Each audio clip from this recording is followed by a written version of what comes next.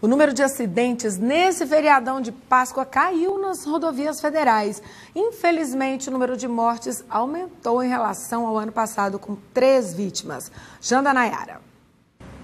Apesar do menor número de acidentes e autuações, o feriadão da Semana Santa não foi nada tranquilo nas rodovias federais que cortam o estado. Foram 27 acidentes contra 50 registrados no ano passado, mas com três mortes, uma a mais do que em 2017. Até o terceiro dia as estradas estavam tranquilas, acidentes muito pouco, feridos poucos também, mas o final, o retorno foi realmente ruim. Tivemos aí três mortes num acidente onde uma van de religiosos capotou próximo a Guapó, três pessoas morreram e é, eh, 13 ficaram feridos sendo que desses 13, cinco ficaram feridos gravemente. Foram mais de 3.400 autuações, a maior parte por ultrapassagens em local proibido e por não usarem cinto de segurança.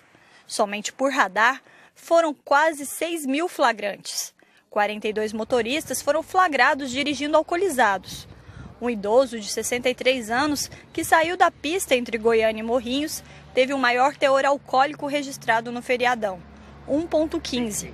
Mesmo no reteste, feito após duas horas do acidente, o teor ainda estava três vezes acima do permitido, 0,88.